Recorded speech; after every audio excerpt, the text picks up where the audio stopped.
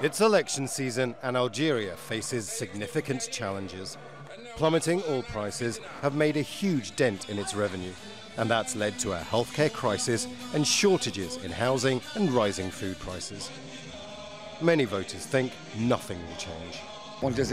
Algeria is my country. I love it. That's not the issue. But we haven't benefited from anything. They ask us to vote for them, they make us lots of promises, and then we don't get anything. Why would I vote? This is the most timely occasion to tell this regime that it is time for them to leave. A total of 12,000 candidates are standing for 462 seats in the People's National Assembly, with a registered electorate of 23 million. 80 year old President Abdelaziz Bouteflika has been confined to a wheelchair since a 2013 stroke impaired his speech and mobility. But he has set the tone on the eve of the poll, urging people to vote. His influence is significant. He is Algeria's longest serving president, a man credited with ending the civil war that lasted 10 years and killed hundreds of thousands of people.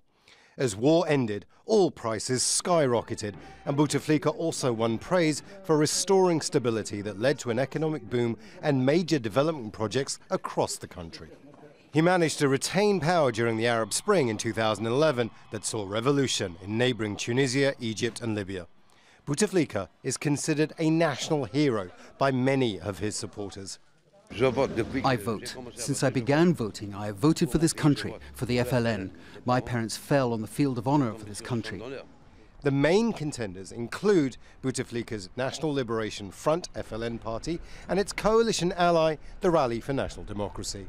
Opinion polls suggest the FLN, which has ruled Algeria under a single party system from independence in 1962 until the early 1990s, will keep its majority in parliament along with the RND. Other contenders include the Rally for Hope in Algeria, a new religiously conservative party led by former Public Works Minister and fierce Bouteflika supporter Omar Ghoul. Algeria has a young population.